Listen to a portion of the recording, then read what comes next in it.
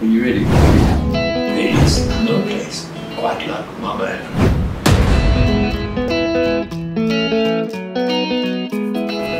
is not this terribly dangerous, difficult place. Travel at the pace of Africa, the rhythm of Africa, and be happy to spread friendship and goodwill. We love our, our community conservation work. If you have a passion for adventure, if you have a passion for exploration, don't sit. Don't think I'll do it another day. Start whilst you can because you've got this unique time in history. It's still there. The wildlife is still there. This kaleidoscope of color, tribes, culture, music across Africa. So my advice to young people is get out, explore it, have a vision, have a purpose.